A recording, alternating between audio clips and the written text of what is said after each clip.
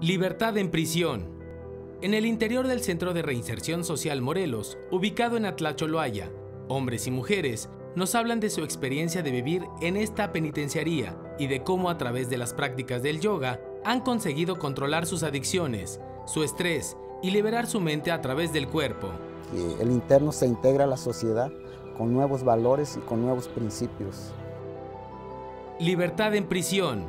Despertando la conciencia. Capítulo 1. Estreno. 25 de diciembre. 19 horas. El canal de Morelos.